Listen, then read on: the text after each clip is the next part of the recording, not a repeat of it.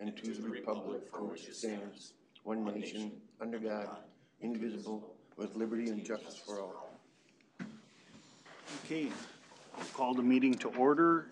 Um, the approval of the regular agenda, I take a motion, it's gonna be twenty twenty-four budget discussion. So moved. There's been a motion by Rick, seconded by Sean.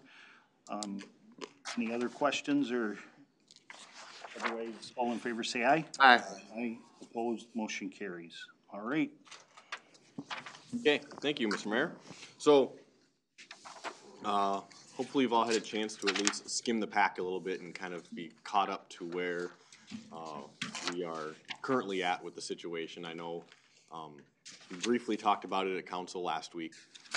Uh, basically at that point, I kind of informed you, uh, that we had been made aware of the fact that, uh, the reported proposed levy for New Prague, at least on the Scott County side, was at about three point nine million instead of five point one.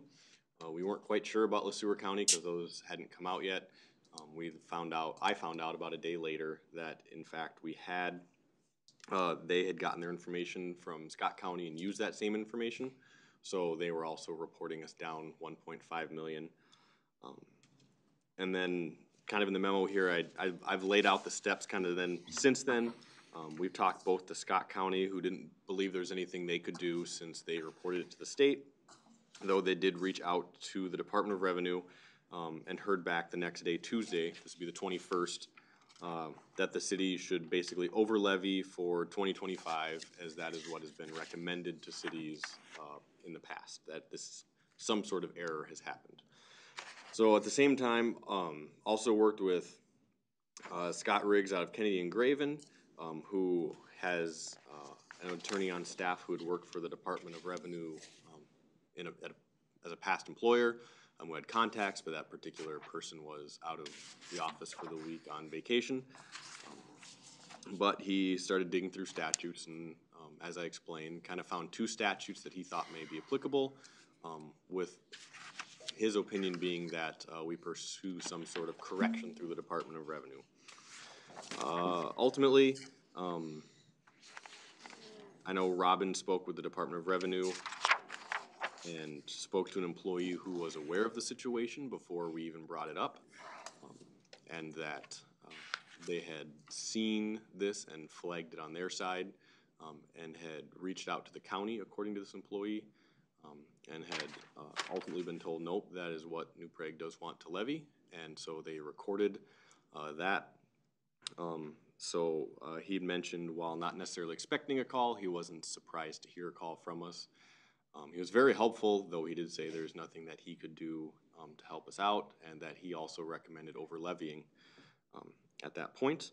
Uh, this week, when, um, the staff members for Kennedy and Graven were all back in, um, I know that they have reached out to numerous sources, including both the league and the Department of Revenue.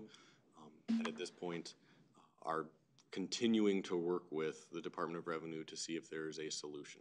Um, we haven't, not yet been told, uh, we can't, so I know that they are working on something up there. Um, That being said, I do think it is important that we have some sort of worst-case scenario in place if we have to. Um, I know I've been in contact with uh, Scott Riggs about our truth and taxation hearing at this point of, of how we're supposed to go about doing that. Um, The last time I talked to him about it, he uh, kind of recommended we kind of do two truth and taxation hearings a little bit, reporting on both our original intended number as well as the state recorded number, um, and kind of go forward with that, though I will continue to be in uh, conversations with him about that. All that being said, worst case scenario, if we are uh, required to levy three point nine million dollars, um, I believe we should have a conversation with how exactly we are going to approach not only twenty twenty-four, but maybe twenty twenty-five and beyond.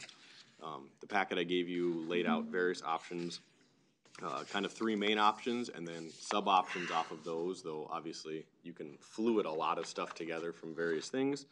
Uh, the first, first one being taking the straight recommendation of, and this would be on page three now, if you're following exactly what's in there. Um, Can we, Josh, Oh, yeah. just for the record and Yep. for, so people watching this, um, can you go through the process of what exactly happened? Yeah. Yeah, oh, I, I, I yeah. just want to make sure that I can explain it well, because I've already been asked about it. Yep, And I missed the council meeting Yeah. Last, the, uh, last Monday. Um, so I wasn't aware of it until you, you reached out to me, and I appreciate that, but, um, but I got a feeling this is gonna be Could be. a lot of interest, and people are gonna watch this. probably, and I mean, So- I, I know that there's already been an article in the paper, I saw that. Um, so if there weren't questions that before, there probably are now. Um, so basically, back in, s- and it, it laid out in greater detail, kind of in, uh, the first, the second paragraph there, um, getting us to two weeks ago when we became aware. Um, but basically, back in September, after the city council approved its preliminary levy of, um, just over five point one million, which was roughly a five percent increase over the twenty twenty-three levy, And we were working on getting that down below Yes. that five percent. or, or. Well, I just want to make that, I just, I I want all that to come out, that Correct, yeah, so, so, yeah. we could not go higher than that. Yep, so that, that was our preliminary not to exceed levy, which is how it works in Minnesota. Um, so we set that at five point one, um, setting it actually higher than we even needed to at that point for our budgeted numbers, but knowing that we couldn't come down, um, we wanted to make sure we left ourselves a small amount of wiggle room just in case something comes up. You never know what's gonna come up in the last month that suddenly you're grateful that, um, you had the extra fifty thousand in the prelim. So, we set that at one point one, um, with the full intent of bringing it down, um, from there. Uh, we had a form, and I have included the form in your packet, if you haven't seen it already. Uh, basically, uh, the form asks us to, uh,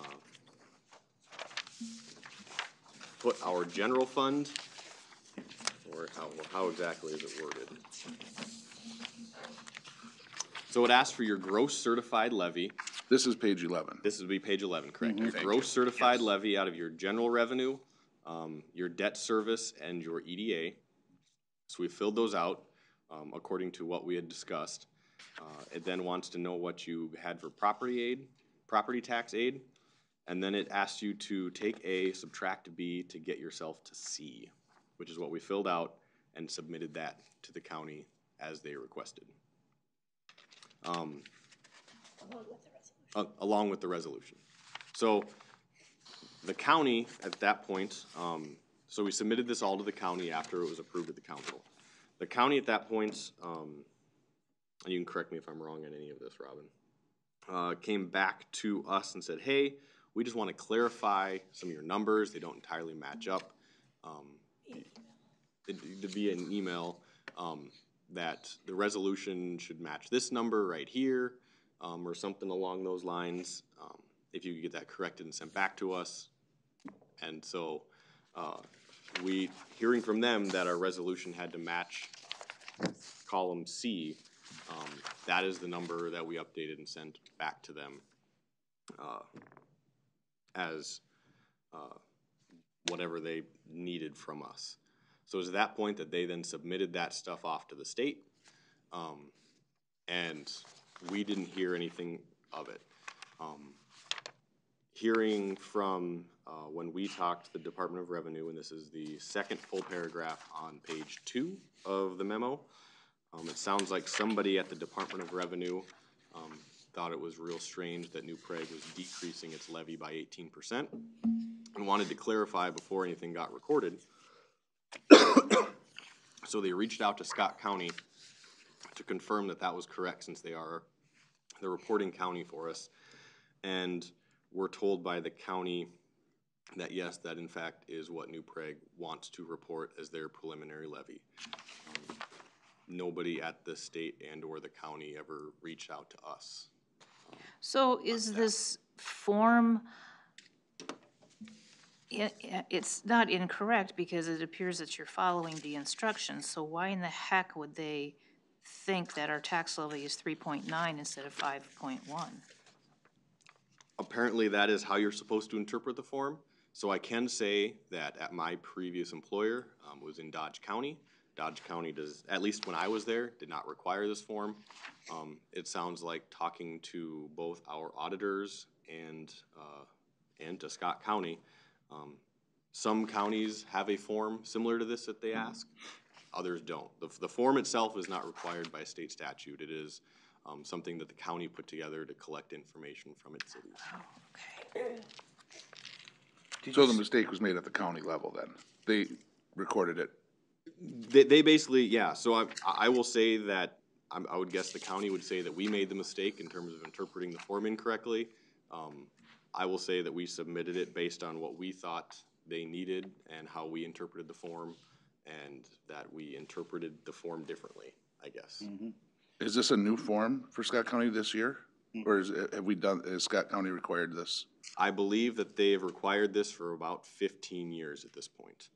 Okay. I And know, this- I know last year when we filled out the form, um, was my first year filling out the form.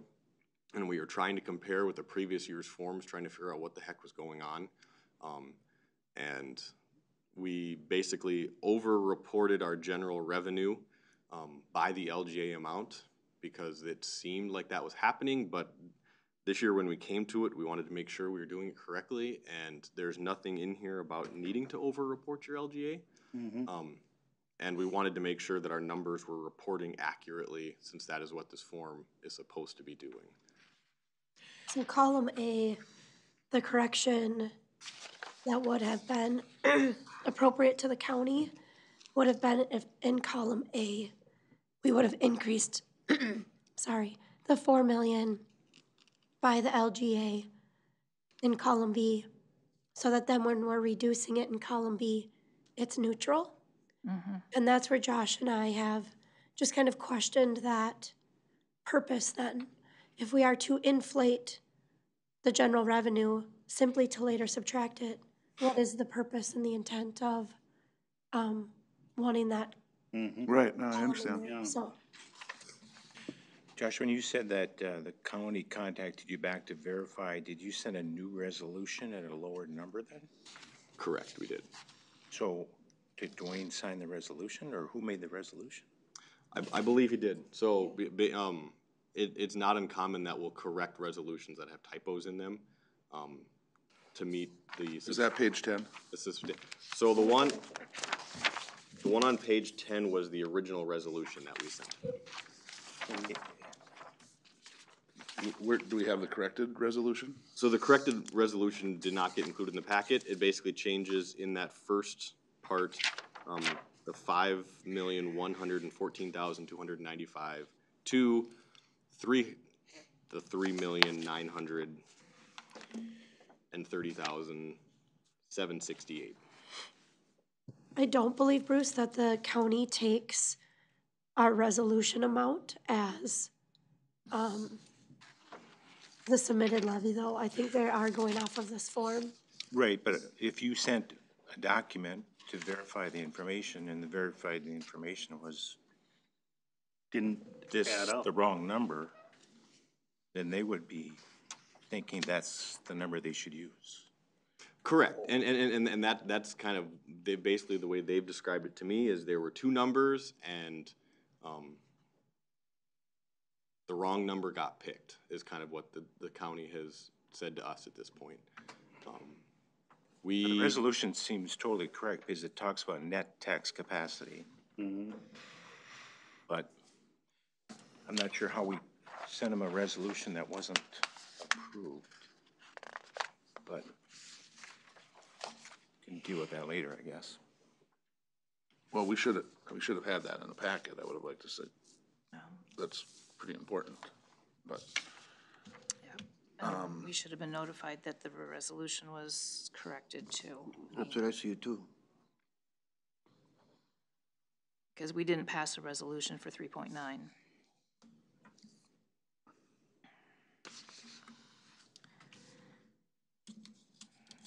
I guess, that, you know, the other question is, how does this, um, how do we make sure this doesn't happen again?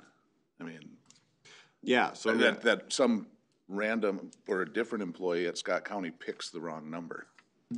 I don't, it's something I, I'm still not figuring this out.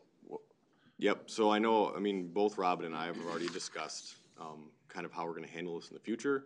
To the point of next year, I think we're actually going to go sit down with whoever we send these to at the county and say, this is what we intend, how, how do you intend for us to fill out this form? Um, to make sure that we are filling this out in the manner that the county wants to see it filled out. Is this a required form? No. Not by the state, it is not. Then why do we even have to fill it out? That's my question. I- And I guess that, that is a question, I know I've reached out to Scott County about it, and they say they've required the form from cities and/or townships for the last fifteen years when they're submitting stuff. So the, the form is required. It, it, it is required by Scott Scott County. County, but not mm, state Not by the statute. s- state, correct. But Scott County really doesn't have any authority over us. I believe that within the statutes, they are the reporting county for taxes. So like, th- their authority basically is that it is their job to report the levies to the state of Minnesota. Okay. But s- Big state collect- law big trumps what collector Scott tax, County right. wants, yeah. Well, so isn't there some culpability for for Scott County? Uh, And, and, and that I'm not entirely sure, to be honest. Like I said, I know that Kennedy and Graven is, is working on this and have, um, kind of kept me in the loop with who they've talked to and whatnot, uh, over the, over the last week and a half, really. Um, and, and at this point, the best update that I can share without attorney-client privilege is that they are continuing to work with the Department of Revenue. Well, do we need to go into, We A can't, private- we, di- we didn't advertise that, so. we no, can't. but I mean, I think that's maybe We, something we we, I, need, I I know, I, wanna I know we certainly can, and I, I mean, outside of doing that, I believe we could also just have Scott as the attorney, kind of indiv- individually contact people to update them with where we're at, um, and answer questions at the same time. Why not just order a special meeting? And we could, I mean, it would be another three-day advertisement Yeah. to have, to have the special meeting with the, So the big thing tonight is, is we just gotta have a plan together and then, I And- guess, then we. Uh, yeah, I mean, I mean, really tonight, the idea is if, if for some reason we are unsuccessful at the state level, um, of getting this, what amounts to now a variance, um, how, how do we expect, expect to not only, not so much proceed with twenty twenty-four, I mean, that's kind of clear with where we land, but, uh, a little bit with how we do twenty twenty-four. Um, and I kind of laid those options out a little bit in the packet of the various possibilities, anywhere from borrowing um, from another city fund, um, such as sanitary, who has uh, over seven million dollars um, cash they're currently sitting on that would eventually be used for maintenance and other projects, to um, using uh, general fund revenue, fund balance, and uh, cuts to basically uh, wipe out the one point two million in spending and then hopefully return the levy to where it was for twenty twenty-five. Well, there's a lot of unknowns yet. Yeah. I- You know, I don't feel good about picking a particular option with, where we still don't have all the information yet. We don't know what the Department of Revenue is gonna say. We don't know what their, uh, the advice of our attorney is gonna be. Uh, You know, I mean, it's a big crap sandwich where everybody's gonna have to take a bite out of this thing, so I don't know where we wanna, That was really disgusting. I mean, it it is. I know it. It, uh, sorry, you know, What- I would have liked to use a little bit stronger of a word, but I won't. just Yeah, I know, I- sake, But it's, it, you know, I mean, uh, do you guys feel comfortable, uh, picking a particular option right now and we don't No. know what? You know, I want the uh, county to go through and find the mistake themselves, and you will find somebody that's culpable. I think it's worthwhile just to discuss through the options mm-hmm. so that there is some sort of a contingency plan. And not that we have to Except this, pass a we, resolution or, tonight- yeah, make a motion to approve a particular it's more plan. that we gotta be able to explain at Truth and Taxation on Monday. And I guess you wanna be able to, that everybody's kinda on the same page. to And, be and able not to even on the same explain page, that. but just to know a general direction of questions people may have or some way that there's a particular lean that way. Um, like Dwayne said, we have our truth and taxation meeting now on Monday night. Um, and Is that the deadline? It is not the It, deadline. it, it's not the deadline, but, but, but it is, we're forced, we are required to pick an advertising date for when we will have our truth and taxation meeting. And so that kind of is the deadline this year that we set, um, for our, our truth and taxation. Um, I do believe it is on that form, actually. Yeah, it's on the, That, that, that, I think, is the one reporting number that I remember, I know I've had to report on in the past, is when is your truth and taxation meeting going to be? Um, So, um, we did report on that back in September, that it would be on December fourth, and so. Now, approvals aren't due until, the last day in December. I believe it's five working days after December twentieth, I think is how the statute reads or something like that. And so we do have time on the actual approvals themselves. Um, we just have to hold the public hearing on Monday night. Okay. My question is, is, and I was, I read through this, so we did an eighteen and a half percent reduction this year, or with the numbers as they are. Correct.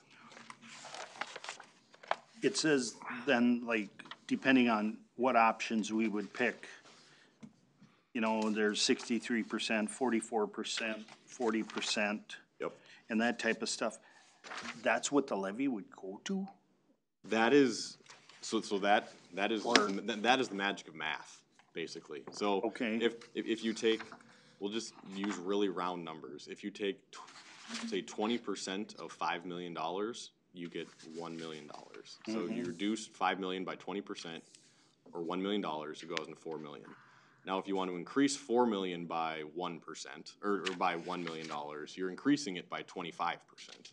Um, because one million happens to be twenty-five percent of four. And so the magic of math would mean that a decrease from five point one to three point nine is about eight, or about eighteen and a half percent. Um, Increasing it back to five point one, or I- like I said, I added five percent, cause that's for talking points, um, comes out to be, it was the final one was thirty-four percent to get back to what would be five point three million. Um, And that, that's just the percentage wise of how. But how- that's not what a levy would go up. That, that, well, so, so that is what the levy itself, the total levy would go up thirty-four percent to get from three point nine up to five point three. Um, that is not necessarily, as I explained, what would happen to the taxes per se, because taxes only make up, city taxes only make up a third of the overall. um, Oh, and this is taking the overall. Huh? This is the overall. So, so our, our five point three million only makes up a third of what you would see on your taxes. And so if you look at, when, when I look at my taxes, the city, po- I've, if, I roughly pay five thousand dollars a year, a little more than that. Um, Last year, the city portion was seventeen hundred dollars, which is about like thirty-four percent. And so, um, if the seventeen hundred and I, um, moves what amounts to, um, Thirteen ninety-eight is mine, and mine's right in the same, yeah. Yeah, so, so if that city portion, say, goes up thirty-four percent, that seventeen hundred dollars will go up thirty-four percent. Oh, Um, and, and so thirty-four percent of seventeen hundred is roughly six hundred, so, but six hundred out of the full five thousand, um, is a little over ten percent. you. So, so, um, while the city portion would go up thirty-four percent, the overall tax bill would be affected a little over ten percent. Gotcha. so I'm saving three hundred bucks this year, and next year, not including the value of my home, which goes up. It's gonna be l- way more than three hundred dollars. It's I, I not would, gonna be, Could be. well, It should be more than double. yeah, well, I mean, I mean, percent, well, I mean, it depends, on- and it would depend on how we approach the situation. If, if for some reason, um, if the council decides to, uh, take what is the recommendation of the Department of Revenue and basically over levy, um, your taxes would go up to what would be their normal, what would have been their normal amount, plus the three hundred dollars, um, that didn't get collected this year. If, uh, you're, if we decide to do an option where we're just getting ourselves back to normal next year, um, then basically your taxes, if they went down three hundred this year, they'll probably go up three oh, three ten or something to account for a slight inflation, um, over the year before. It, it would really depend on what the council would, how, how the council wants to, um, handle twenty twenty-four to figure out what would happen in twenty twenty-five and or beyond.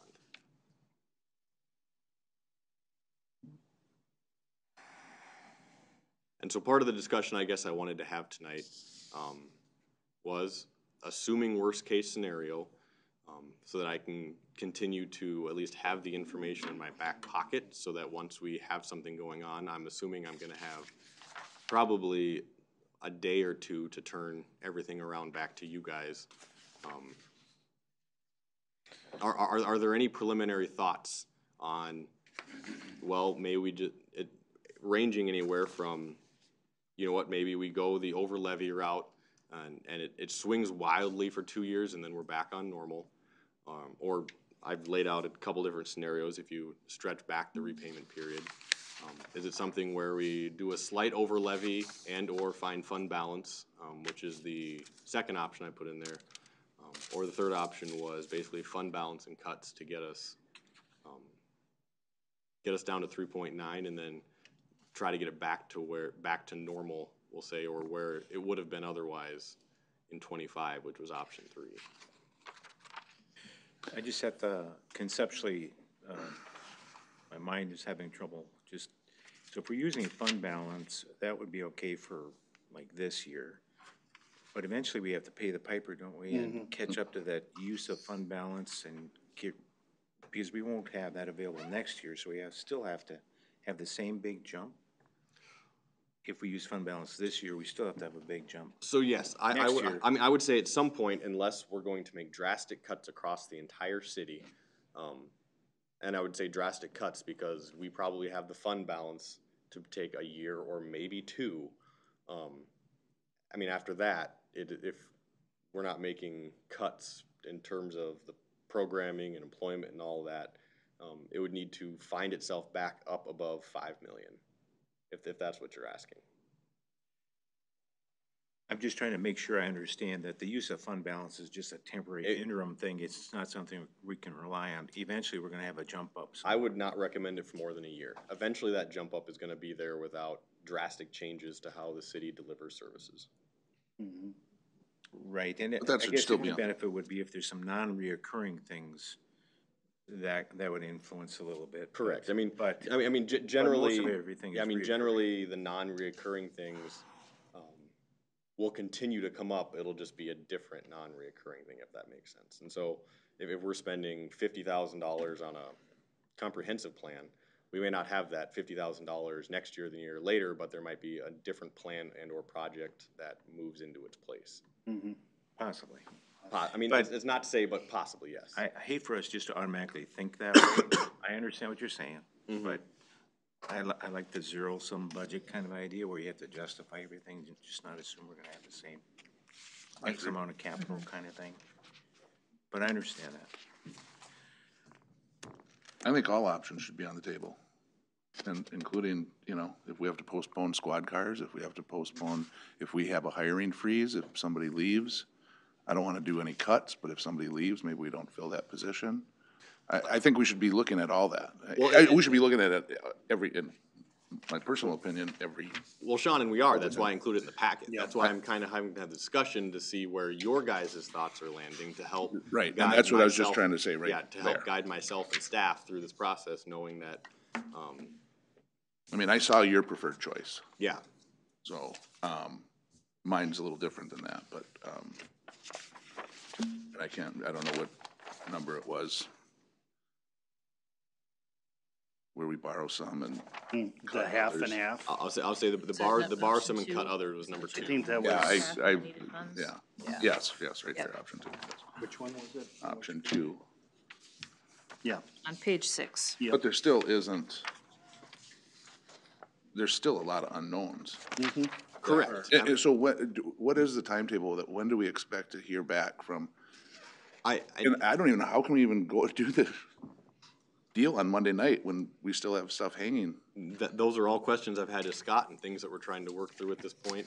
Um, Well, I- we have tomorrow, basically, because then, you know. Correct, no, and, and I mean, I actually got a text from Scott literally five minutes before this meeting saying, I don't have any further updates from the last time that we talked. Um, so I know that, um, his, I know that his office is working with the Department of Revenue and that there's certainly some expediency to this, knowing that we are basically up against the end of the year. I know that they have pushed that on the Department of Revenue, and as far as I can understand, the Department of Revenue seems to understand that. Um, I will keep, and that's part of why I kind of want to have a discussion, even though we have next to no answers. That way, there's at least some general directions that once I get answers, I'm assuming, um, at that point, I will talk to Dwayne and we'll get an emergency meeting called, basically, um, where we, we get in here and do what we need to do. Um, but that will allow myself and staff to basically be working whatever we need to work, um, instead of something where we have an emergency meeting, but we're approving the budgets in two days, and now maybe we have to make these changes to them. Um, that'll allow us to kind of basically create multiple budgets in the background, um, so that way we can take the path that ends up being required of us. Um, Can we call an emergency meeting if, if, for example, for client attorney privilege also? We may be able to, um, that, that I don't, I'm Yeah. not hundred percent sure on how, I, I know the emergency meeting statute basically reads that. understand, um, yeah. The mayor, under his or her, um, belief in emergency, is able to call a meeting, and staff has to do their best to reach out to everybody and get notice out to allow people to know that it's happening. But I get, my, my question is, is it only a public emergency meeting or can that be a, That I don't know. okay.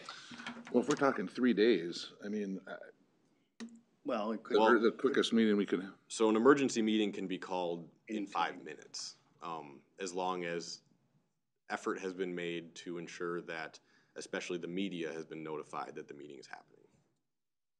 But it, you basically have to justify that this is an emergency, so, um, you couldn't say, well, we wanted to make sure we got, got a new street sweeper purchased and we had to know, That's- know an answer by the end of the week, like, that's probably not gonna hold up as an emergency if somebody challenges it. But um, I do think in a, a situation like this, with a deadline and a levy and a budget, I do, my non-legal opinion as a not attorney is that we would be wading into emergency waters, but it would be something that I would certainly run through Scott before. so the, the meeting Monday night, is that the final approval of the, No. that is not the That final is not the approval? final approval, it is just basically the public hearing So they, okay. Yeah, it is, I just it, wanted- it's a public hearing, really, b- it's supposed to be based off of, you've received your property tax statement in mail, the city says they're gonna levy this much. Now is your chance to show up and support it or not support it in front of the city council. Mm-hmm. I'm not even sure you have to show a budget that night, but I think you, We don't, I mean, generally, it is pretty accepted that you do, cause if someone's showing up with questions about the levy, you're supporting it by showing the budget, so. right, so I think as far as what we're required to do for Monday, we just need to show a budget that fulfills the requirements of the truth and taxation notification.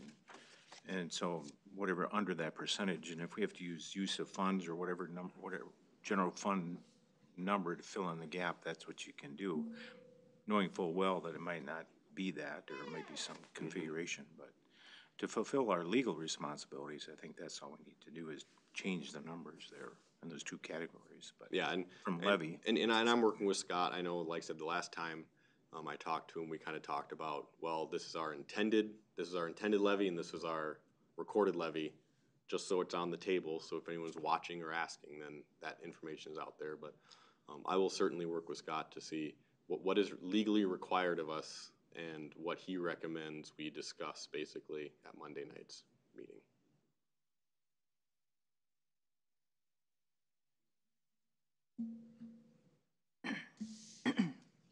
And so tonight's meeting is to I- I would- I try to would- get a sense of where, Where. We feel yeah, comfortable so basically where the majority of the council for feels comfortable. contingency. um, as a contingency plan so that Okay. we can start working on basically contingency budgets if we need to. Okay.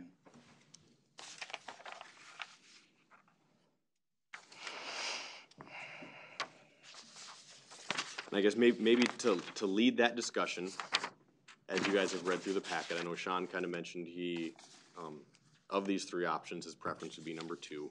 Um, Is there any sort of appetite for, uh, option number one, which would amount for borrowing the entirety of the, uh, amount, and then over a period of time, one year, twelve years. I, I have one, three, five, just for, um, number's sake in the packet, over levying to pay that amount back. Is, is there any sort of appetite by the council for that sort of option? Well, my concern is, is that we know that we need an additional trunk line if this city is gonna grow. And that would affect some of the money that we would be using mm-hmm. for that trunk line. So if we take it up now to cover this gap and leave it decimated, and now all of a sudden, two years later, we need a trunk line, I don't, that's gonna spike it even farther. Eh, we're still paying off the initial loan, or the, the money back into it. I'm just worried that that, that unknown jump is gonna be not forty-eight percent or forty-nine percent, or that's a number two, but your option, So, so when I get, I know, I know. sixty-three percent, it's a hundred percent. And if, if that, if, if it's the sanitary fund, I guess, that council has a problem with, we can certainly look at other funds. We do have a few others. Um, coming out of either, both the electric and the water do have a large balance, though those numbers are controlled by the utility commission. Um, so it would be working with the utility commission to come to terms with that particular option. I th- I thought the council has ultimate control over the utility commission. I, I don't, so I, I believe the council basically is able to appoint the utility commission, um, but my understanding is the utility commission kind of controls their own finances, if that semi makes sense. At the, at, at the leisure of the council, though. I'm pretty sure I've asked Scott that before. And, and I would have The to. elected officials control the purse strings. Uh, They get to run that segment, but they ultimately report to, I, I, would- I would have to ask Scott, I guess, exactly how that would work in a situation. well, I know, like this. I've, I know I've asked before. I mean, theoretically, we could disband the commission. It, it, it's, you could it's a disband the little commission, but different I, I think, I think there's certain powers the commission are given due to the creation of the commission. Okay. And it should be within that enabling resolution. It should. I think not only that, but I mean also within state statute. State Yeah. statute calls out utility commissions quite a bit. Yeah, I think there's more to it than you might think. I'm not sure it's just an enabling. I think there's a statutory issue here. And it's like, uh, Shakopee tried to disband the utilities, and I'm not sure if we're set up the same way, but it, there's more to it. So, so, so all that to be said, there are other potential purses of money. I mean, the, the city actually, between especially our three enterprise funds, water, electric, and sewer, we do have a very healthy cash balance. But I know that all three of those funds have those balances for various projects and/or things that they are doing going forward. Um, so they're not just sitting on giant piles of cash.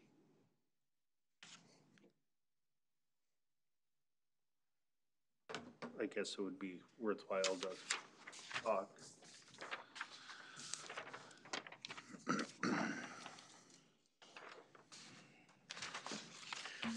I think you asked the question, for my response would be, I'm not, I, I would favor somewhere in between one and two. Whatever we can delay and defer would be my, um, my stance.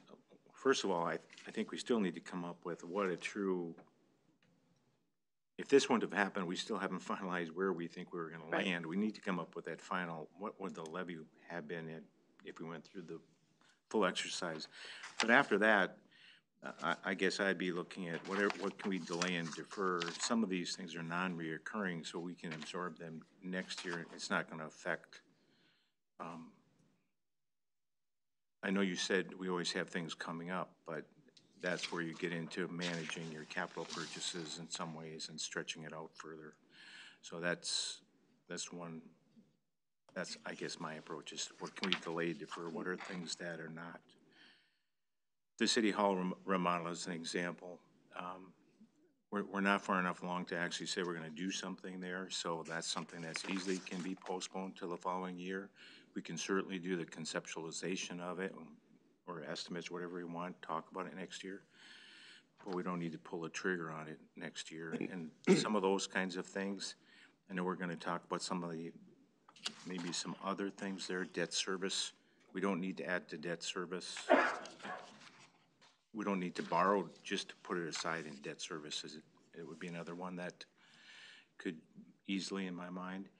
And there may be some other things, uh, to try to delay or defer things. Um, But whether it's this number or what number that number is, five fifty-eight or some other number. Yeah, the other number I just, that was basically the halfway point of, of picking a halfway number. It, obviously, like you said, you can go left, right, one way or the other with, that was, that being the amount.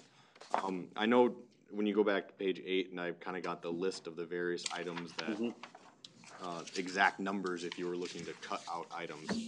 Um, Speaking to City Hall maintenance remodel, that was a hundred thousand dollars that we were putting aside, knowing that whether we remodeled City Hall or didn't, was being recommended to us to, um, we'd at least have maintenance on this building. So instead of coming up with a five hundred thousand dollar or million dollar bond maintenance in the future, that would, that was an attempt to start setting money aside, um, for those future potential needs, however they ended up landing in the future. You know, on our balance sheet, we have designated renovation funds in our general fund balance, Correct. which is confusing to me. Why wouldn't we be using that for this? I mean, I, I, I think this, this would get added to it.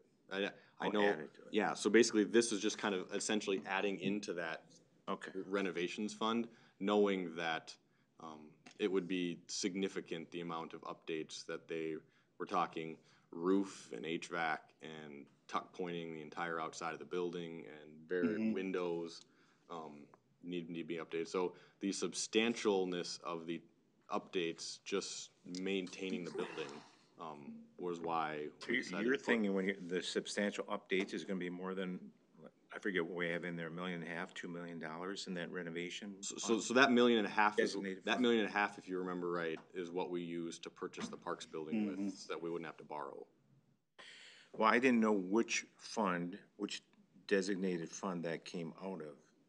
But on our balance sheet, we refer to renovation fund, so the park, the purchase money came out of the So- renovation? So, so that, that renovation fund, I don't believe, is not an actual fund, it is basically an allocation within the Right. general fund. It's the designation. Yep, right? and yeah, and that's, that is what we decided to, we, we had it basically set aside for renovations and or building a new city hall, and we decided instead of borrowing money for the Parks building, um, we would just use that, that money now, um, that we wouldn't have to borrow for it into the What, what's left after that's subtracted from the designated renovation funds?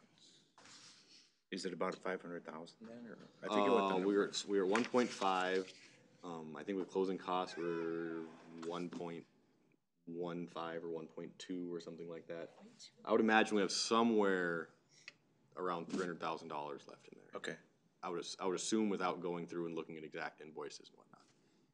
But yes, this one hundred thousand would have gotten added on top of whatever. so then to come up with a number in my mind, you're thinking whatever we do to City Hall is gonna be in excess of four or five hundred thousand dollars then? It could, I, I just know, I just know what they talked about was, was quite extensive as they were walking through the building. Okay. um, And the work that would be needed. I'm just trying to get in the same page as you.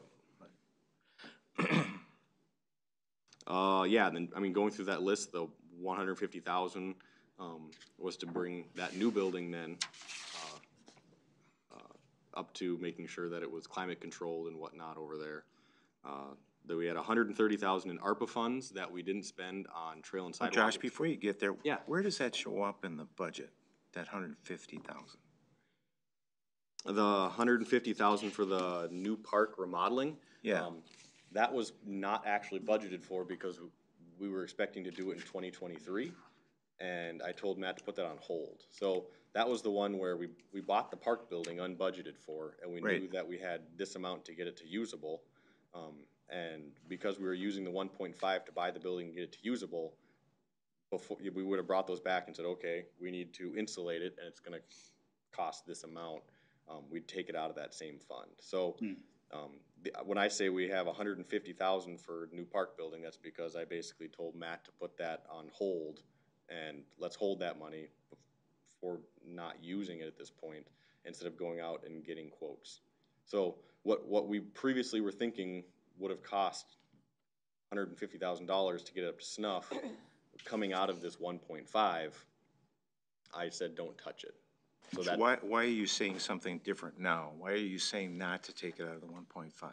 because we may need that one point five for this situation. Like, I, I, I'm- I'm solely saying, leave the building as cold storage at this point until we get our hands around, um, this tax levy situation, so that way we don't spend hundred and fifty thousand dollars when we may need it for something else. Okay, well, I'm confused because you're, you're saying that, we're suggesting we take something out of the budget that was never in the budget. You're right, I, you're right. As, as I, as I look at this and hear your situation, correct.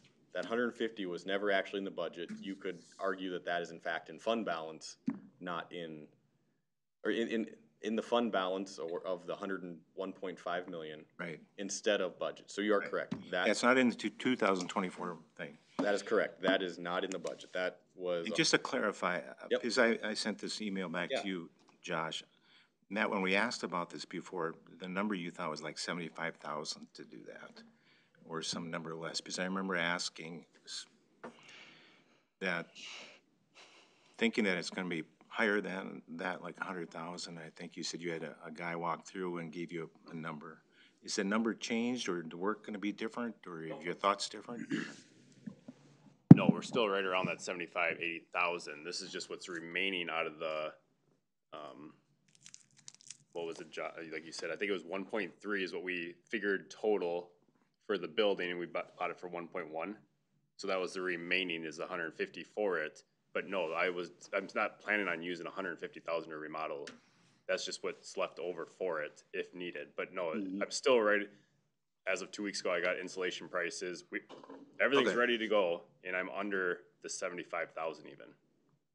Mm-hmm if that makes sense. Mm -hmm. It, it makes uh, total sense, but I get easily confused, and you guys are doing a great job. Am I confusing you? Yeah. okay. Sorry. Sorry for interrupting Josh then. Nope.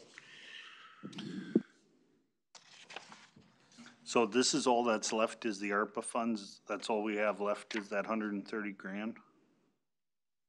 No, that was that, that's 130 grand from the 2023 budget that was rolled that was being planned to roll into the 2024.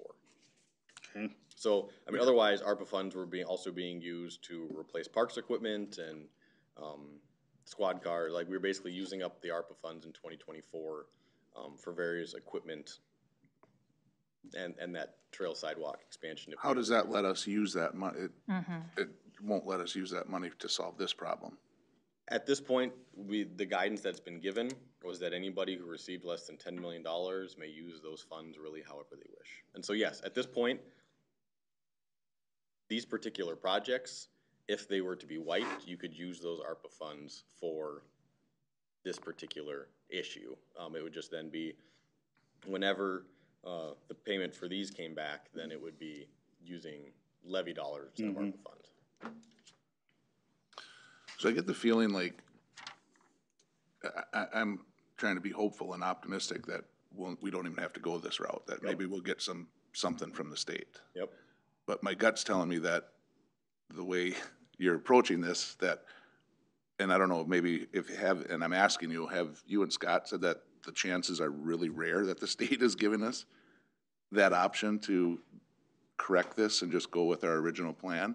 Or are you really expecting like eighty percent that we're gonna have to find some money somewhere, somehow? What's your gut telling you in your discussion with Scott? Because my feeling is, is you're not expecting the state to come and say, we can do this, this, and this, and just get back to where we wanted to be. I will say I'm hopeful.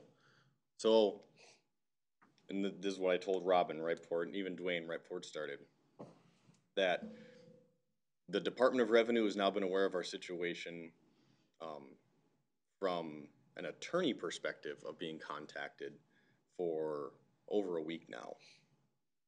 And they haven't told us no yet. So along those lines, I'm hopeful. I don't know exactly all of the arguments that are being used by attorneys, but I know they've got a, a couple different fire pokers, I, I don't know what you wanna say, that they're using with the state, and the state has not outright told us no yet. I think in a situation like this, no news is probably good news, because it'd be pretty easy to tell us no and to walk away from it. That being said, this meeting tonight is completely contingency. Of trying to build plans in place, knowing that we don't have a lot of time. The state may come back on December twelfth and say, you know what? We'll allow you to levy for, uh, five point one or whatever it is, and which we don't intend to, but you're gonna have to notify everybody and get your budget together and get that approved by the standard date. And so, if that's the case, we would scramble to get a letter put together and mailed out to every single person, however they need us to mail it out and get that taken care of. Maybe they come back and say, you can certainly go forward, but, um, we'll only allow you to levy at the amount you levied last year, which I think was like four point eight six or something like that. Um, about two hundred thousand dollars less. Um, If that's the case, then, um, hopefully we have stuff in place to be able to bam, bam, bam. Let's move this through. Um, Or maybe they come back on the twelfth and say, sorry. And I'm just saying the twelfth as, as a date out there. Right. They come back and say, sorry, it is what it is, it's state statute, you gotta do the three point nine. At which point, I don't want to then be scrambling on December twelfth to get something into place for Christmas, when I could have spent the last two weeks at least getting preliminary stuff in place, uh, so that we can basically have four budgets in front of us, and as soon as we hear from the state, we can grab the appropriate one, um, or appropriate two that I can then bring back to you guys, and we can, we can hash out the final one from there instead of starting from scratch as soon as I hear from the state. Who at the state is the one that will ultimately sign off on it? The revenue Assuming commissioner? The or- commissioner of the Department of Revenue, if, or director, whatever that title is, the- Oh. whoever's the head of the Department of Revenue, I'm assuming is the, um, decision maker over there. Okay. If you have a contact, that would be a No, good time to check I'm in. just kinda, I was just gonna Google it, I'm just kinda curious on who Because, that um, is, but, We've talked, when we've met, we've, we've already laid a plan for contacting our legislators. well, yeah, that was, And all that stuff. I And, mean, and, that's and, all. and that is something I was gonna talk to Scott about tomorrow, cause I know that, um, if we haven't heard one way or the other, then by tomorrow, uh, Dwayne and I may start kind of reaching out to legislators and see if we can get any help from that front. Mhm. okay.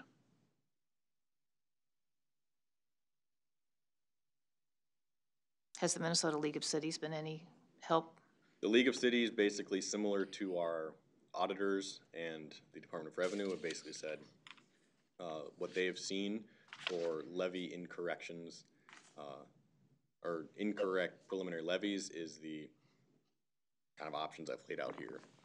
uh, That, uh, the, the, the state has basically always recommended to people this, and nobody's ever pursued it. Any further. And that's, that, that kind of gets another thing that, you know, also the Department of Revenue says it happens all the time too. I don't know if it happens at the magnitude that we're at, or if it happens larger or smaller, but, and that's their answer, that Josh told me that it happens all the time. Well, No, that's to think pretty that this is- lame. Yeah, yeah, that's, yeah, I mean, so, so they've been real forceful at, and, and at, at saying double levy. I, I think it might not doing their job. happen as often to this magnitude where it's what, twenty percent of our Mhm. thing? Whereas a lot of, uh, cities don't have LGAs at twenty percent of their Yeah. budget. So they make a mistake and all of a sudden something happens, they need more money, they can't, those kind of things are Mhm. more common, I think, but tw- uh, to be twenty percent off or whatever number off is probably not that common. I don't think. Yeah, I mean, I, I can't speak to other cities that it happens to. Um, If, if I was to take a stab, it probably happens to smaller, smaller towns who don't quite have the, the staffing or whatnot. Um, So, So we set our preliminary at five point one percent, mm-hmm. knowing that we would want to whittle that down. correct. Have we done any work on whittling it down? Yeah, so, so, I yeah, so we were down to four point six percent, I believe was the last budget conversation we had, which was like five, five million fifty thousand or around there. We were down about seventy thousand dollars, I believe. Which, which is why in the pack, when I'm describing numbers, I described that we, oh, I think it was on page one, talks about how we were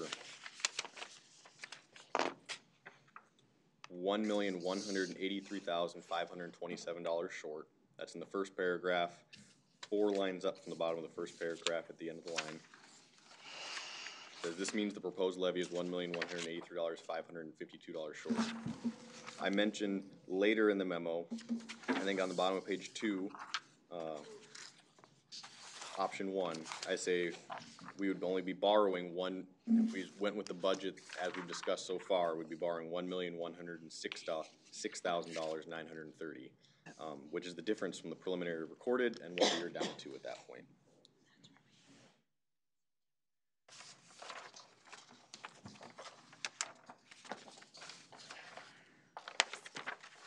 So we, we had brought it down.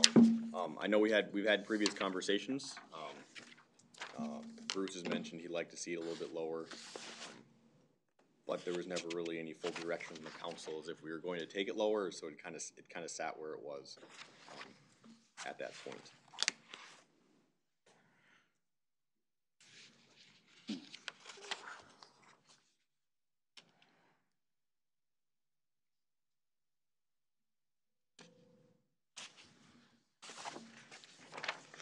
So, I guess, so far I've heard from Sean, both Sean and Bruce, that, um, they're not crazy about option one. They, but option not two is slightly more palatable in that it's kind of a combination of, uh, one and three together. Um, And if, and if that's kind of where the direction of council wants to go with this contingency, we can certainly work on uh, what that would look like. I know I mentioned in here, um, was it in option two or three? One of them I mentioned, um, I guess what I would argue are nothing is easy pickings per se, but, um, stuff to pull off. We've generally been pretty conservative with interest, with the intent of, uh, using that interest for future projects and or equipment, so we wouldn't have to levy for it. Uh, that being said, um, we could, uh, claim about another seventy-five thousand dollars in revenue just from our expected interest payments in twenty twenty-four, uh, that are allocated to the general fund. I know, um, across all funds, we're expecting almost eight hundred thousand dollars in interest, um, to be paid out from our CDs just in twenty twenty-four alone. Uh, and about fifteen percent of that would come back to the general fund, which amounts to about hundred and twenty-five thousand dollars. And we were budgeting for fifty thousand dollars in there, so that means we would have roughly another seventy-five thousand dollars in revenue that we could claim off of interest CDs. Um, we also have, uh, our golf transfer of ninety-seven, a little over ninety-seven thousand dollars. Um, with them sitting on an expected fund balance of about six hundred and twenty thousand dollars going into twenty twenty-four. That is another area that, I mean, we are ultimately responsible if something crashes over there, but, um, we could basically, um, delay the transfer for a year and claim back ninety-seven thousand dollars there. Yeah, delay it or e- reduce it. Or Delay or reduce, how, how many, yeah, so, uh, I mean, there are certainly, I think those are the two of, some of the easiest ones, um, to, uh, move into place as we're looking to balance things out. I, would- I'm comfortable with, um, option number two, you know, depending on if we want to borrow a half, you know, a third, you know, whatever, not necessarily just at a half, but, Yep, so. I, I guess to Bruce's point, somewhere in between one and two. and I guess I can put to, try to put together for Monday night, just to share with you guys, since it's our next planned meeting. Um, I will say a couple different options, or, or I'll say a few more options, except landing them with the borrowing por- a portion and, uh, fund balancing and or cutting a portion, um, so that you guys have those and, um, hopefully by Monday night I'll have more information so that we can, um, have a better idea of what's happening, and maybe by then we'll, we'll find out that this has all been an exercise in futility, but, um, yeah, since that's our next planned meeting, um, I'll also, uh, keep you guys updated with, with emails and phone calls, um, just kind of with where we're at, so that you, if you have any questions that come to, uh, I can certainly pass them on or try to get the information pulled together for you guys to try to get this all together. You might not know this, or the answer to this, but when, um, your property taxes go up by a certain percentage amount, I can't recall the number, if it's twenty percent or I something. believe so. And the state gi- gives you a refund or gives you credit for that. Does that affect, It's like the homestead credit? No, um, it's Uh, a no. special credit for when property taxes go up Take quickly. up big Does jump. that affect the, the mun- municipality or the county I- in what they get?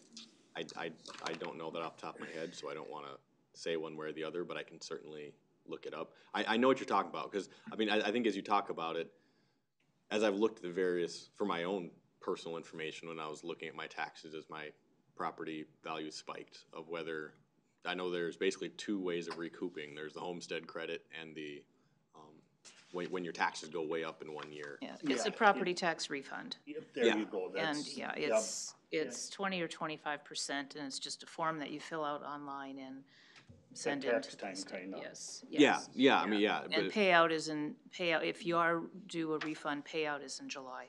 yeah, yeah, yeah, and, well, okay, maybe homestead credit's not the right word I'm using. No, Homestead- homestead is I- different. Yeah, so it, but I know there's two different ways to be able to get eligible for that, cause I think once you hit a Homestead certain credit's right income on bracket, under you're no tax. longer Right. eligible unless your property values spike up a certain amount within a year. Cause that homestead credit comes right on your property tax Correct. statement. Yeah. It, they give you credit right away for. Yeah, it's just a comparison between last year's property taxes and this year's property mm-hmm. taxes. And I think it's twenty or twenty-five percent. And then if mm-hmm. you're sixty-five years of age and older, you get an additional. Correct. But I do not know that off the top of my head, I will get that Cause I had the information same tomorrow question morning. that he had, yeah, I was wondering. I will get that tomorrow morning and get that over to you guys. Where does the money Yeah, come I'm. I'm looking at section two, er, Where does any of the money two. come from? and I'd like to draw the purse strings around here too.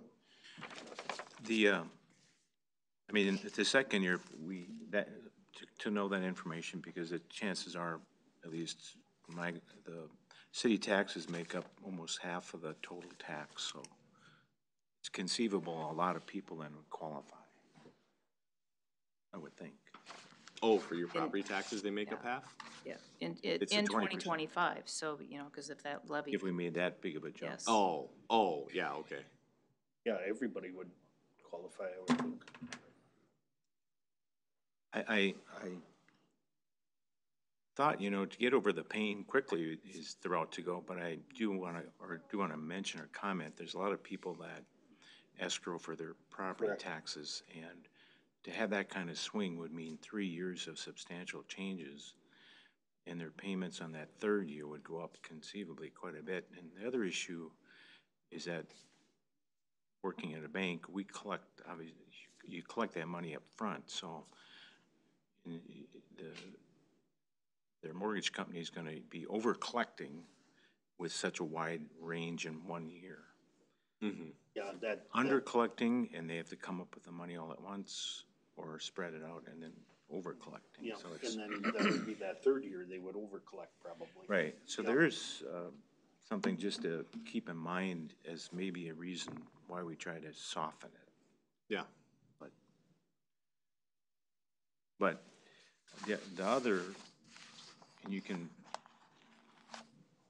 beat yourself up trying to think about this, but the more fair thing, I think, is to try to get it done quickly, because you don't know who's, there's gonna be different owners a year from mm-hmm. now, whatever. Our tax capacity, the difference between commercial and residential could be different. Right now, it's favoring the residential because we had a big increase commercial. It could swing the other way, so I- the I- year of a big increase could affect the residential more than, I, I do wonder if we're gonna, just so far for, I mean, having run out of residential property, basically, I know a lot of the residential increase is gonna start becoming from just increasing individual property taxes. Whereas we do still have commercial activity going on. So at least over the next year or two, hopefully that swings a little bit more in the commercial side just because that's the only thing that's really able to grow at this point. And, um, we do, I mean, we are seeing expansions of various businesses across town. Um, building permits for, uh, businesses on the east side of town are coming in. So hopefully, that will help soften the, bl- I mean, ultimately, what amounts to a levy increase is not immediately felt by people because it is more spread out with, um, additional taxpayers on the rolls, For basically. residential people, they really favored this year because values went down. The worst-case scenario would be the commercial would go down, residential go up. So even if everything stayed the same, you're, you, you might have a seventy percent increase instead of a sixty or whatever the number is. Your residential went down on the Scott County side? Because Yeah, so on- yours the- didn't, mine Mine didn't. didn't. So, so on, on the Scott County side, um, if you look at, I've, I've included in the budget packets that we talked about of the, our levy will affect a property owner this, this amount. Um, if you look at that, uh, not only do they have the percentage of whether yours went up this percent or down this percent, they actually also include the number of properties that would have been affected. And if you look, oh, I bet eighty percent of the properties on the Scott County side are on the decrease. Um, but we don't get something like that from the LeSueur side, but anecdotally, um, I think on average, most LeSueur people went up anywhere from zero to five percent. I think mine was about four and a half percent up. Um, so while, while I think Scott County spiked them harder, and now they're bringing them back, whereas LeSueur didn't spike them quite as hard, and so, uh, they're still moving up. That make sense? So yes, mine went up like yours did, while everyone on My- the Scott My County house side, value went up, but taxes came down just because of, yeah. but it didn't come down. What did, what did yours come down? Mine came down from four fifty-nine to four twenty-one. Wow, mine went up. The lunch is on Bruce. I wish I could sell it for four fifty-nine. It's all a number. Okay. So you got your marching orders? I I've got guess. marching orders, I'll, like I said, I'll get you guys something on Monday to look at, um, that kind of focuses on two a little bit, um, and different options on the scope of, um, borrow more or cut more. Uh, and then, like I said, I'll, I'll keep you guys updated with both emails and phone calls, kind of of where the situations are at, um, as I learn things, so that way we have best information possible. Josh, can I ask a favor? I'm on vacation Monday, um, with plans. Yep. Would you be able to send a text to my phone that says, you know, uh, there's an email out there or just some, some way to let me know because I'm not gonna be home much. Um, if, so if I send, okay. So I will send be at council meeting, but I won't be at home during the day. knowing that I don't always check emails on weekends, even, um, I don't know, I think Robin checks her emails all the time, so it wouldn't be a big deal. Uh, Is that, would everybody like a text if I send an email out, just so you can jump on it? Sure, Um, Yeah. Just, just so you know it's there? sure. That'd be Or super. maybe, maybe you don't text and prefer to call? Do like you always do. Text would, Text is fine. would just work fine for me. Okay. And then Pigeon. Monday night, can we get a copy of that other, Yes. and then, um, well, I- it- whether we do a- an emergency meeting or not, but I, I'd really like to see what our options are if this was a mistake from Scott County. Um, And, and, and that I don't know if we have any information on at this Right. point, um, as to whether, what would happen if this is a Scott County mistake. I know, um, And then, uh, o- okay. Yeah, no, I mean, and, and, that was just, I don't know if we have, op- like, I don't know if the options change at all, just based off of state statute, but I will certainly talk to Scott and see what his thoughts are. Um, or if he knows of any precedent of what has happened in the past if a county has made a mistake. Well, as a LeSueur County resident, I want to know if it was a Scott County mistake. No, And I would hope you do too. Yeah.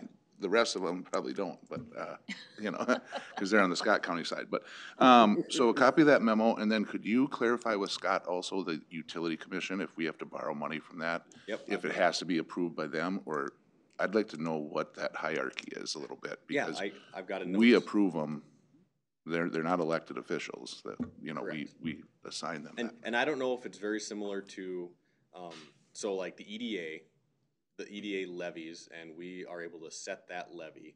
Um, but the EDA does have spending power. So once, what, once we approve the EDA's levy, um, under state statute, uh, basically the EDA has the power to spend that money towards EDA goals, um, without actually coming back to ask the city council.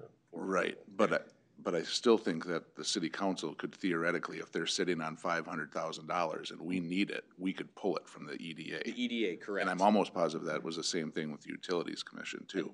Yeah, I just don't, I don't wanna get in a, in a No, situation where Utilities Commission says, well, if you're gonna take five hundred thousand of our money, we're gonna charge the city eight percent interest or whatever, I, you know, Yeah, and, whatever the going yeah, interest yeah, rate is. so we, we have the ability, and I explained it in here, to set interest rates uh, when we're certainly borrowing from ourselves, so with the sanitary fund, we would have that ability. Um, Like I said, I'll check on the utility commission to see if they would be the ones that would set the, help with us set the terms, or if it would be something that we'd be able to set the terms on our own. Okay, But yeah, I'll- I will certainly check on that. I just wanna know, yeah, that, that whole hierarchy. of- Yep. of- okay. The article, um, that, uh, was written in the paper, uh, Scott County does not feel responsible. Yeah, So it's, uh, Exactly. So when you made that comment just a sentence or two ago. I'm not Cindy sure Geis. that, uh, That's not Yes. their Well, see, the sewer, position. but- unfortunately, the sewer doesn't get the paper until Thursday, and I haven't read it yet, so. I- I- I- I Scott got- County gets it on Wednesday, we get ours on. I got it from a text from Matt, he took a picture of it and sent it to me. Mhm. Oh, okay. Yeah, I get mine on Wednesday. It's, you're out, you're not hand delivered, you're mailed. Yeah, I'm mine's still mail. hand delivered where I live on LeSueur County, that's the difference why I get mine on Wednesday. Matt's kind of a big deal. Yeah, yeah. Uh, can I ask a budget question, because I'm still getting Yeah. confused, and this, I, um, you emailed me and explained this to me again, um, so I, I think I've got it. But on the budget, in, I use the park board, hundred and thirty thousand? the hundred thirty thousand number. Yep. I, I don't, can you explain why there's no use of funds in the two thousand twenty-four budget? So let's not use the park fund because those are ARPA funds, um, for that hundred and thirty thousand. Okay, But, um, say the, let's say we had a, um, the F-250 that Matt's carrying over that, uh, we've been trying to buy forever, but supply chains and strikes out in Detroit won't let us.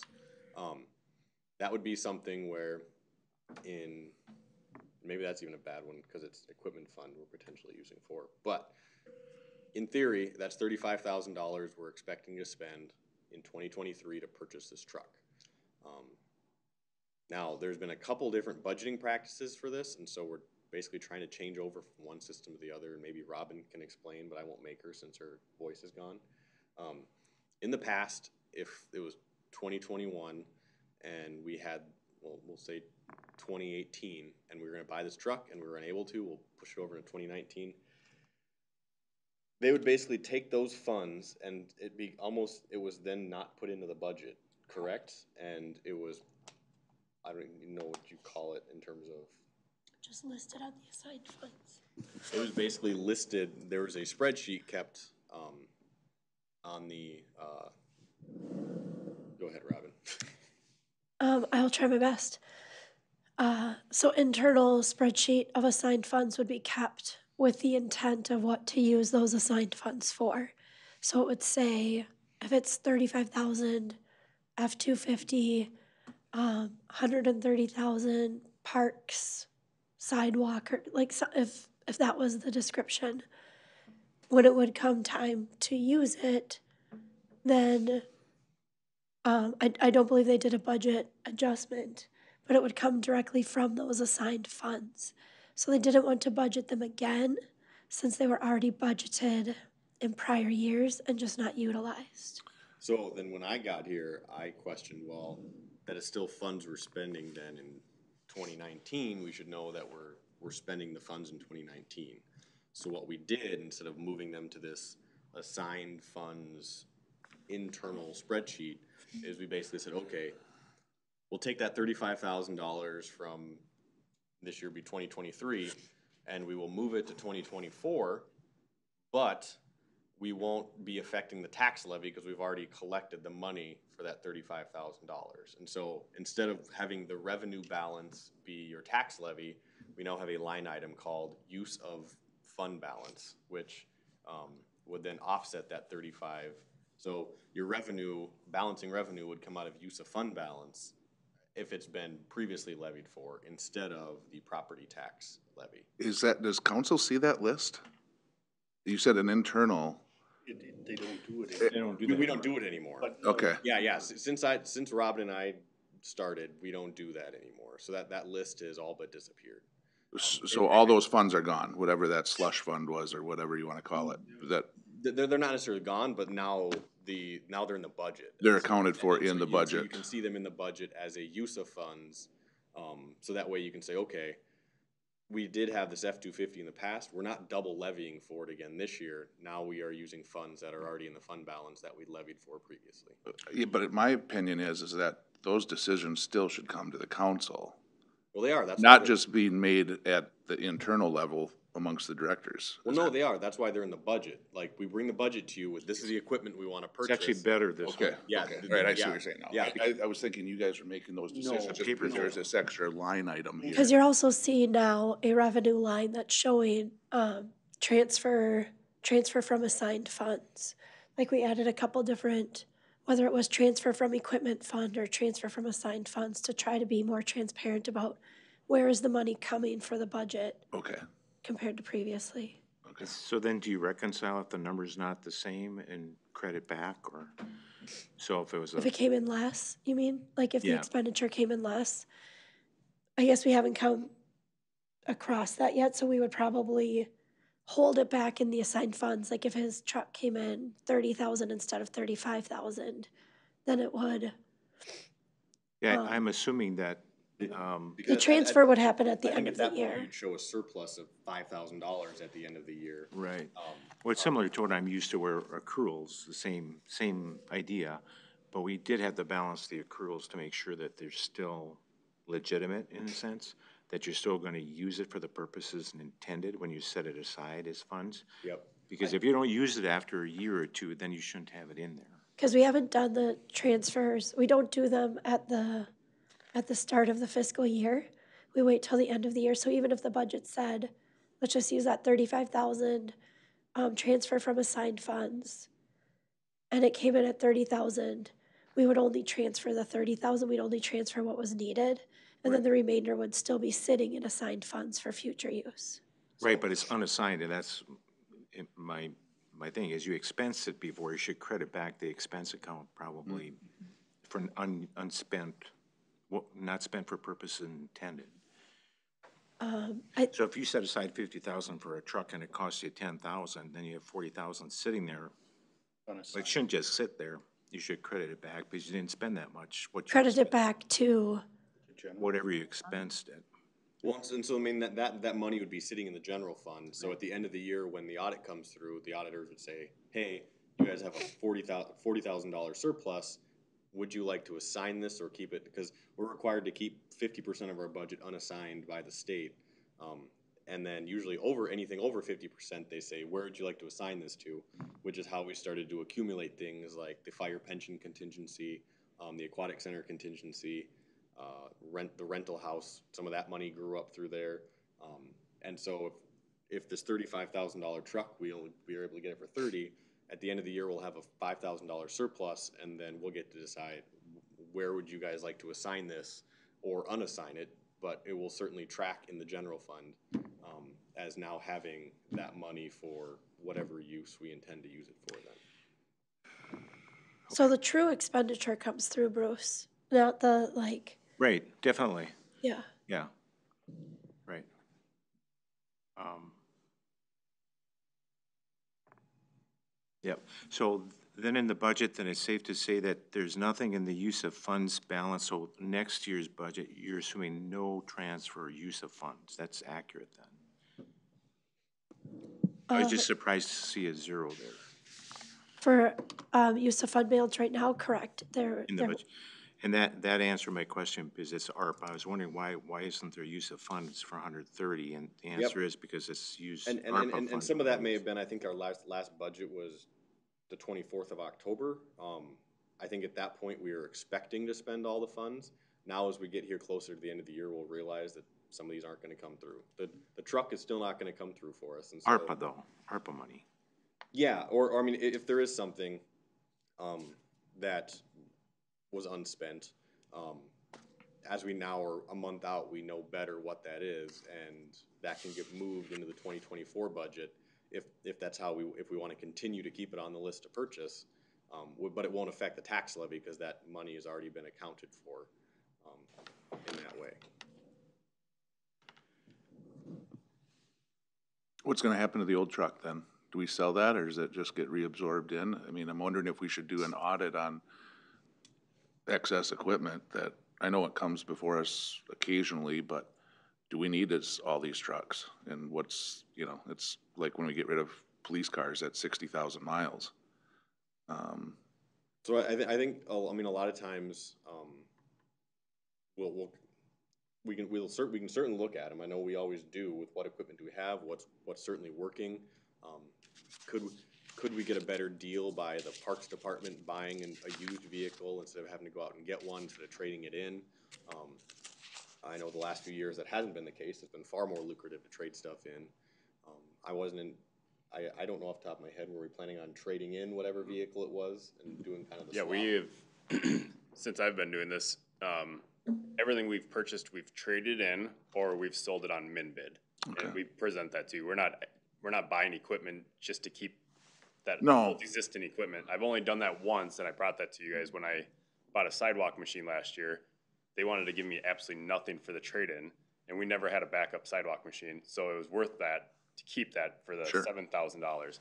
And I brought that to you guys saying, my plans are to keep it and buy a new machine and just keep this one. Otherwise, everything gets traded in or sold. We don't, I don't just keep buying and saving old equipment. okay, Same with the police I was- I was saying, department. if you want an extensive list of all the equipment we have, actually, we, um, that is in our, um, CIP every year, kind of a, this is all the equipment we have, this is when we expect to potentially replace it.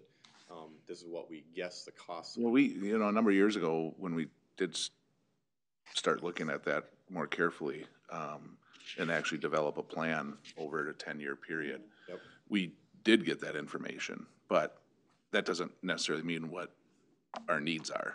I mean, that's what you guys get paid for to understand, but I just, it- where I was going with that is, I get a lot of comments that, from taxpayers that, boy, the city sure loves having nice shiny new trucks driving around, and they see them circling around all day long, and, you know, I hope you're correcting them by, So- when they say that, those comments, because that's not what our employees are doing. We're not just driving around. Oh, no, no, no, no, to- no, they just see, they see a lot of new. Guys work. Right, I'm not, Council understands Matt, that. I'm not saying that they And don't. Our I- equipment are, is not all brand new, I will tell you. Our- We do a very good job at keeping the equipment very nice.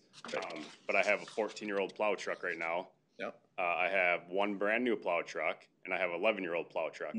My supervisor drives a twelve-year-old plow, uh, pickup truck because I believe it can extend its life past the ten years that we have it. Right. So I, I mean, we take our vehicles and we take very good care of them. If we didn't, they would all be rusty after ten years working in the salt, so. Sure, Um, I just, I'm, all I'm saying is I hope those people that make those comments, you correct them, because our guys work very hard to keep our equipment very nice for the city and the residents of New Prague. right, and I'm just saying, you know, perception's reality, and that, you're right, I didn't know that, I'm not, I, you know, I, we pay you to manage that, those vehicles and whatnot, but I'm just telling you that as taxpayers, and they see, and when I said they see them driving around, I didn't mean they were not working, driving around, just when they're going to and from their jobs, there's a lot of nice new equipment that's out there. And my contention has always been over the last 11, 12 years that I've been on the council is that just because it's, uh, if something is working just fine, I mean, we're spending three hundred thousand dollars for a new payloader that we might still get five more years out of. Um, just because it's on the, on that cycle of being moved out every ten And, years. and I will say, we do work every single year, um, to figure out what can we push, cause every, every, every time you can push something back a year, I mean, that's exponentially saving into the future. Um, what can we push, what can't we push, something might come up sooner, cause we got ourselves a lemon of a plow truck and it's falling apart. Um, some things you can push back a few years. I know there, um, one of the things in our budget, for example, is IT equipment for forty-two thousand dollars. Some of that is an attempt to get our IT equipment on a cycle. Um, so we would probably be purchasing laptops slightly sooner than we need them, because otherwise, I don't wanna run into a situation where we have, hundred and twenty thousand dollars worth of computers that all come up in one year. Mm-hmm. And so, but at the same time, that cycle that I was working with CTS on would also push some of our laptops longer than what warranties or recommendations are. So basically, the idea was, well, let's buy a quarter of the laptops this year, or desktops, or whatever the employees need that makes sense, because there's no point in buying laptops for people that don't need them. And then hold on to all the old ones, because it's possible that four years from now, when somebody's working with a seven-year-old machine, that it, it dies, but now at least we have these replacements until, so, I mean, going through all of our equipment and trying to balance both, um, spreading out the spending as well as extending the life of things is certainly something that we work on every single year. Okay, well, and I think a lot of that goes back to two city administrators go back when Dwayne was a council member. No, There was a lot of equipment that was, uh, we just, they, they just didn't buy equ- yeah, equipment. we, You know, I- so that's the perception in the heads of a lot of people that they remember those days where well, even they when I ran was a things into city the ground because That's the, what we were, had to do. right, so. Yeah, I mean, and some of that comes to maintenance cost too. At some point, it doesn't make sense to keep putting No, I, I three know. thousand dollars a year into a truck. So yeah, tho- those are, those are the kinds of, um, things that we weigh every single year when we recommend, um, vehicles into a budget as to what, what makes the most sense long-term for this. Like, may, maybe it, is- maybe it does make sense long-term to get rid of a vehicle two years early, cause it's just costing too Yep. much to keep. Or maybe it's We've- sense, to yep. hold on to it for two more years. The other uh, thing I comment on from the utility side, I, I see it more often the utility side because they have uh, their type of equipment, but there's certain advantages for the city to be able to purchase equipment, no sales tax and other uh, fees and things. And the resale is better, knowing that it's been maintained, so, um, so the- financially, there's a better uh, opportunities to purchase better than you or I can have. The city does. Uh, and then secondly, from, you see it in the utilities, there's a cost of downtime that's more drastic, more, more costly. Not so much with the pickup trucks, but certainly other equipment. If something's not working, you've got a pretty high-paid salary professional that's not, not able to work. So there's another cost to the equipment that we have to keep mindful of, is that we can run it till it dies, but then if you've got people sitting in their hands, there's a opportunity, a, a big cost to that. Well, I even think of like the plow trucks too. I mean, if we're down a plow truck or two Yeah. and we've got a twelve inch snow, that suddenly, now we're maybe we're running four you- plows instead of six and residents don't like if you don't get down their street Um, at the expected hour. You call another city, don't you, Matt? I'll tell you the joke behind that one.